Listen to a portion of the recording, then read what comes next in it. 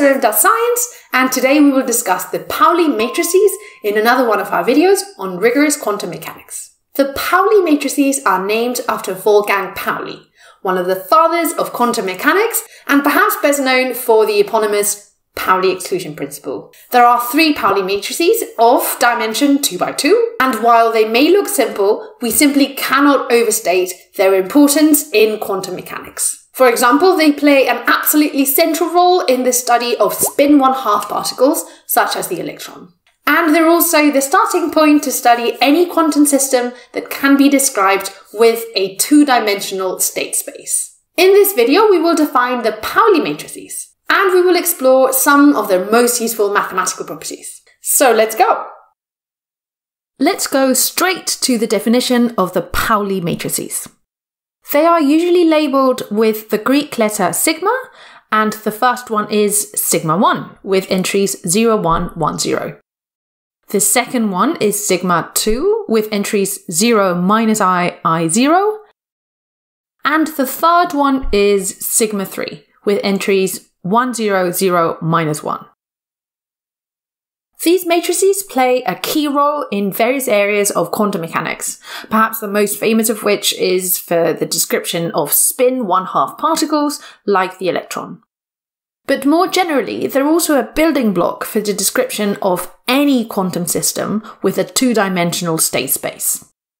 Given how widespread they are, the aim of this video is pretty straightforward. We're going to derive some of the most important mathematical properties of all of these Pauli matrices. The Pauli matrices are Hermitian, and remember that an operator or matrix A is Hermitian if it is equal to its adjoint. So let's confirm this explicitly by starting with the sigma 1 matrix up here. The adjoint of a matrix is defined as the complex conjugate of the transpose. In this case, the transpose is trivially the same, and then we just need to take the complex conjugate. As the entries of the sigma 1 matrix are real, the matrix is again unchanged, so the final result is the matrix 0, 1, 1, 0. And indeed, this is equal to sigma 1. Let's try sigma 2, which is slightly more interesting. The adjoint of sigma 2 is again equal to the transpose of the matrix, and then the complex conjugate, which flips the signs of the imaginary terms to get this, which is indeed equal to sigma 2. Finally, for the adjoint of sigma 3, we calculate the transpose conjugate, which is once again trivial to evaluate as the matrix is real, and we get sigma 3. These relations explicitly confirm that the Pauli matrices are Hermitian. The next property that we will investigate is the fact that the Pauli matrices are involutory, which remember means that an operator of matrix A is equal to its own inverse. To show this explicitly, we will demonstrate that multiplying a Pauli matrix by itself yields the identity. So let's take sigma 1 squared first. We can write it out explicitly as sigma 1 times sigma 1 and applying the usual rules of matrix multiplication, we get 1001, which is the 2 by 2 identity matrix. This confirms that the inverse of the sigma 1 matrix is itself. So moving on to sigma 2 squared, we explicitly get this. Applying the usual rules of matrix multiplication, we end up with minus i squared 0, 0, minus i squared, which reduces to 1, 0, 0, 1, which is indeed the identity matrix. For sigma 3 squared, we explicitly get this. Multiplying, we get 1, 0, 0, minus 1 all squared. And again, that reduces to 1, 0, 0, 1, which is again the identity matrix. These relations confirm that the Pauli matrices are their own inverses. And here I'm using the subindex k to refer to a generic Pauli matrix. So k runs from 1 to 3. In the previous slide, we've already established that the Pauli matrices are Hermitian. Bringing these two insights together, we can conclude that the inverses of the Pauli matrices are equal to their adjoints, which means that the Pauli matrices are also unitary. Next, we're going to look at the determinant of the Pauli matrices. For a general 2 by 2 matrix A, the determinant is really easy to calculate. We just multiply the two diagonal elements together and then subtract the multiplication of the two off diagonal terms. With this, the determinant of the sigma 1 matrix is 0 minus 1, which is minus 1. The determinant of the sigma 2 matrix is 0 minus minus i squared, which is minus 1. And the determinant of the sigma 3 matrix is minus 1 minus 0, which is also minus 1. So all Pauli matrices have the same determinant, which is minus 1. Great. So the next property we're going to study is the trace of the Pauli matrices. For a general 2 by 2 matrix A, the trace is simply the sum of the diagonal elements. We can trivially see that the trace of sigma 1 is 0, the trace of sigma 2 is also 0, and the trace of sigma 3 is 1 minus 1, which is also 0. So that means that all the Pauli matrices are traceless. Let's move on to the eigenvalues and eigenvectors of the Pauli matrices, and this is a bit more exciting perhaps. We'll take the sigma 1 Pauli matrix as an example and write its eigenvalue equation. As always, these lambda are the eigenvalues and these v the eigenvectors. To find the eigenvalues, we need to consider the characteristic equation of sigma 1.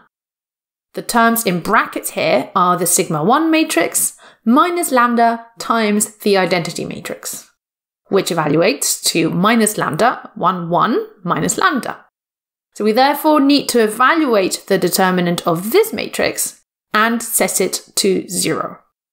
We have the product of the diagonal terms minus the product of the off-diagonal terms equal to 0, and this leads to lambda equals to plus minus 1. Therefore, the eigenvalues of the sigma 1 Pauli matrix are plus 1 and minus 1. So let's make some room. Starting with the eigenvalue plus 1, we can write out the corresponding eigenvalue equation where I am now labeling the eigenvector v with the subindex plus to indicate that it corresponds to the plus 1 eigenvalue. Writing this out, we get this matrix equation, we can multiply these two terms together to end up with this column vector on the left-hand side equal to the column vector representing the eigenvector. Comparing the first entry here with the first entry here, we arrive at the conclusion that v2 plus is equal to v1 plus. Therefore, the normalized eigenvector is equal to 1 over square root of 2 times the vector 1, 1. Repeating the same exercise for the eigenvalue minus 1, we would find that the normalized eigenvector is equal to this expression. Let's make some room again.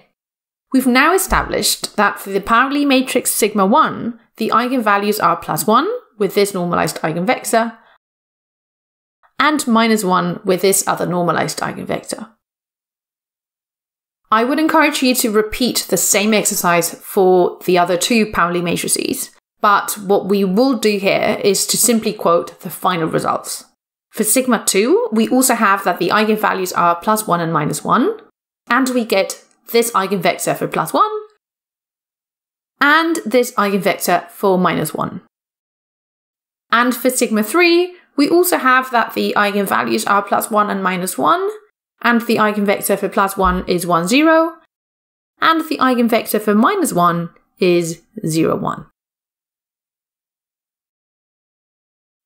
We're now going to consider the commutation relations between the Pauli matrices, and remember that the commutator of two matrices or operators A and B is equal to AB minus BA. We will look at a particular example, the commutator of sigma 1 and sigma 2. We can expand out this expression to get sigma 1 sigma 2 minus sigma 2 sigma 1. Focusing on the first term, we can spell it out by writing sigma 1 and sigma 2 Using matrix multiplication, we get I0, 0 minus I. Now for the second term, we now first spell out sigma 2 and then sigma 1, and multiplying we obtain minus I0, 0i. Going back to the commutator, we need this product sigma 1, sigma 2, which gives this term, minus the product sigma 2, sigma 1, which gives this other term. So evaluating this expression, we obtain 2i, 0, 0, minus 2i, which we can simplify as 2i multiplying the matrix 1, 0, 0, minus 1. So we see that this matrix is actually sigma 3, and we end up with 2i sigma 3. So overall, going back to the top, the commutator of sigma 1 and sigma 2 is equal to 2i sigma 3. Let's make some room. We could repeat this exercise for all other possible pairs of Pauli matrices. And again, I, I'm going to really encourage you to try it out because it's a great way to get familiar with operator algebra. But what we are going to do today is to simply write out the final result, which is that the commutator between sigma 2 and sigma 3 is equal to 2i times sigma 1, and the commutator between sigma 3 and sigma 1 is equal to 2i times sigma 2 and all other commutators will vanish trivially. For example, the commutator of sigma 1 with itself is equal to 0.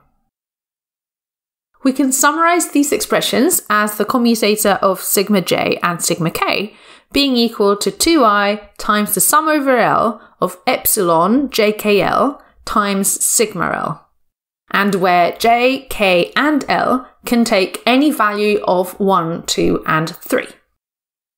This term here is called the Levi-Civita symbol. If you've encountered the Levi-Civita symbol before, that's great.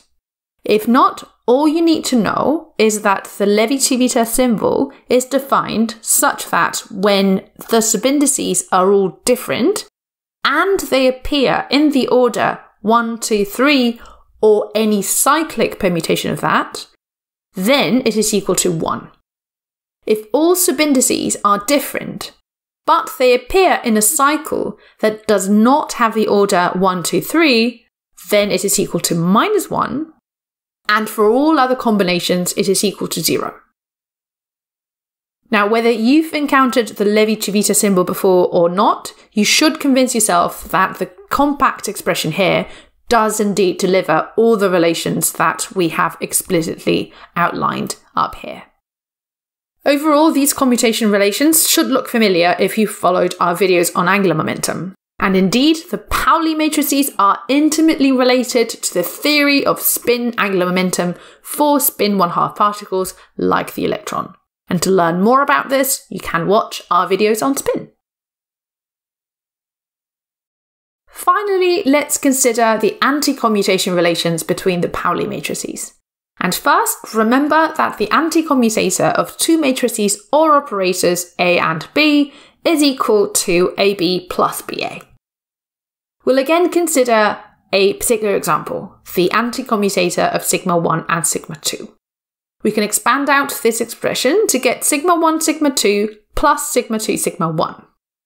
When evaluating the commutator, we've already established that the product sigma 1 sigma 2 is equal to i0, 0 minus i, and the product sigma 2 sigma 1 is minus i0, 0i. As a result, for the anticommutator, we get this matrix plus this matrix, and they combine to the zero matrix. Overall, going back to the top, the anticommutator of sigma 1 and sigma 2 is equal to 0. Let's make some room. We could repeat this exercise for all other possible pairs of Pauli matrices, and I really encourage you to try it out. But we will again simply write out the final result, which is that the anticommutator between sigma 2 and sigma 3 is equal to the anticommutator between sigma 3 and sigma 1, and both vanish. By contrast, the anticommutator between sigma 1 with itself is equal to 2 times the identity matrix, and so are the anticommutators of sigma 2 with itself and of sigma 3 with itself.